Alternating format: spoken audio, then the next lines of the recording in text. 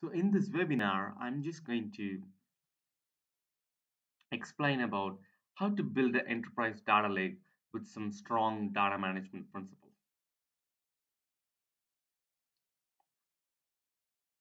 So what are the opportunities that's present in the enterprise at the moment to actually build a data lake in the first place?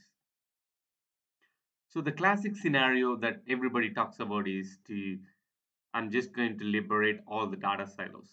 But that's not entirely the case. The main challenges in most of the organizations are about data sharing. And then how do you actually trust the data that you have? And then you move on from there to go into data analytics. So what is this data sharing problem? So most of the businesses at the moment, when they tend to share the data with someone, they typically go to a business system and then download some data and then they export to an Excel spreadsheet and then they send them to someone else and then they do some manipulation and then it got transferred to multiple hands. So in this process, you're not actually sharing data. You're actually literally copying data to someone else. The moment you download the data from your business system, it is outdated. It is not real-time feed. And if some reports are made on the downloaded data, then your executives are making a delayed decisions or the decision that's not real time, that doesn't mimic the pulse of your business. So that's the main problem that we want to address in terms of data sharing. So the data management principle says that if you want to share the data, you you don't literally copy the data into someone else. You you share them in a way that you have you can track what people are doing with your data. You you pretty much control who has access to the data. So that was the opportunity that, that was present. The second opportunity lies in data quality. When I say data quality, it's all about lying with trust. Most of the businesses they discard some of the reports citing the reason that the data the data is crap. The, the data so they don't trust the data even the business produces or the business generates. So how do we actually fix this? So it actually gives an opportunity for a business to build a data lake that takes into account actually enhances the trust in the data. And obviously you want to do some data analytics, which is once you do this data sharing and data quality really, really well, then the data analytics. So it builds a strong platform for doing data analytics. And then ultimately, if you solve these three problems, obviously what you tend to do is you are actually liberating data, a lot of data.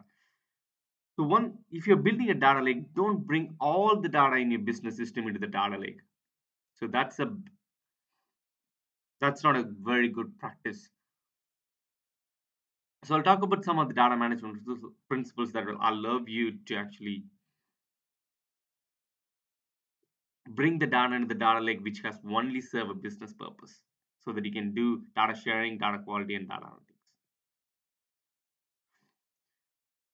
So what was the Hadoop promise on this? So Hadoop was predominantly built on built for doing data analytics in terms of so it's a write once read multiple times paradigm where you have wealth of data and hit then the hadoop provided with two things the first is it provides with the distributed distributed computing in terms of MapReduce and it gives us the distributed storage in, ter in terms of HDFS Hadoop file system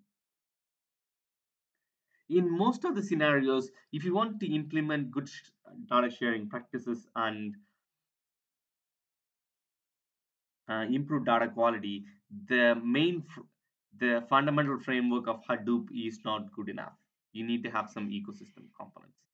But still, there are like challenges with the Hadoop world.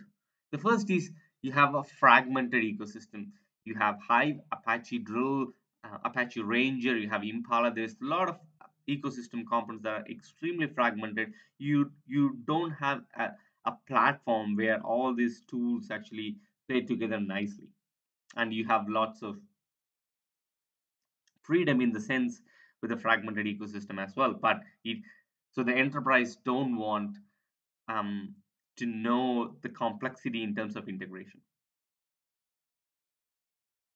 And the data management tools in terms of the big data platform are still maturing. Apache Atlas, Waterline Data, Sentry are still maturing. They are still keeping up with the with the needs of an enterprise. And the best practices and standards in the big data world is still evolving. And one of the other pain points in the big data world is that the integration of all the ecosystem components is still a black magic. Only few system integrators know the capabilities of how to actually integ- uh, integrate all those uh, ecosystem components so that they play well. However, the enterprise requirements are really, really high. So the enterprise, they the first thing they want to know is the security, and then they really want to um, understand how we can, how we can actually enable the business to actually use all these tools because it's open source. Um, a lot of these things, the UIs, uh, the GUIs, and the UIs are still maturing. Let me talk about this uh, uh, enterprise data management framework uh, in the next